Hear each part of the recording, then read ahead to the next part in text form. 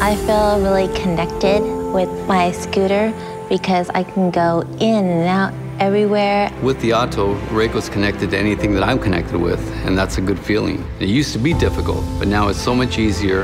And when it's easier, she can feel it. And that smile comes out, she's laughing. It's just great to be able to have that, that ease and that flexibility. Feels like just part of the crowd. That's really cool to see that.